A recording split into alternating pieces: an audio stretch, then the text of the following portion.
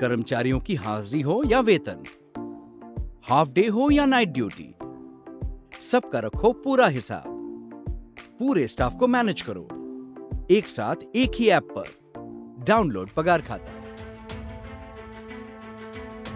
MP की सियासत का माहौल आजकल गरमाया हुआ है। सरकार और संगठन की कई गुप्त बैठकें हो चुकी हैं। लिहाजा सियासी गलियारों में कई चर्चाएँ चल रही हैं। कयास लगाए जा रहे हैं कि राज्य में शायद नेतृत्व परिवर्तन हो सकता है, लेकिन अटकलों पर अब विराम लगाने के लिए राज्य बीजेपी के कद्दावर नेताओं को सामने आना पड़ा है। दरअसल, इन चर्चाओं की शुरुआत भोपाल में बीजेपी महासचिव कैलाश विजयवर्गीय की मौजूदगी से हुई। कैलाश विजयवर्गीय, भोपाल में कैंप कर पार्टी के अलग अलग नेताओं से मिले तो आरएसएस और संगठन के बड़े नेता भी भोपाल में जमे थे और अलग अलग नेताओं से मिल रहे थे। इन बैठकों पर पार्टी की तरफ़ से कोई सफ़ाई नहीं आई थी, लेकिन कयासों के दौर शुरू हो गए थे।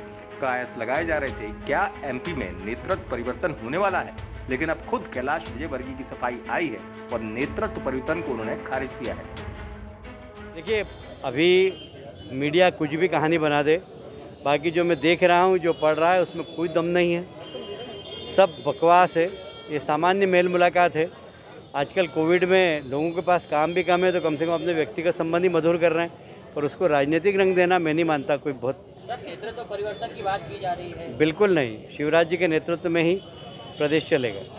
सर आपका भी नाम आ रहा है सर? मैं अभी दूसरी जगह लगा हुआ हूँ।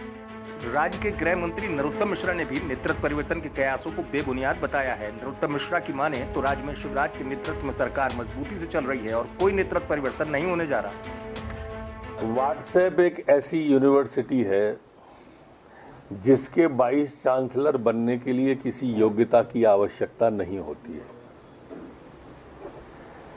और इसलिए ये जो फेक न्यूज़ है जो भ्रामक और असत्य समाचार हैं, मेरी प्रार्थना है इन पर ध्यान न दें।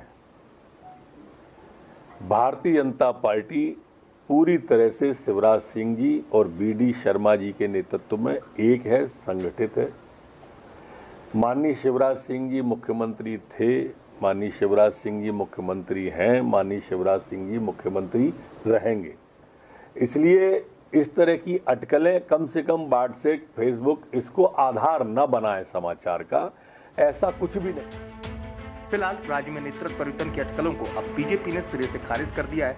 हालाँकि दिग्गज नेताओं की गुप्त बैठकें क्यों हुई, ये अभी भी रहस्य बना हुआ है। इंदौर से धर्मेंद्र कुमार शर्मा की रिपोर्ट एमपी तक।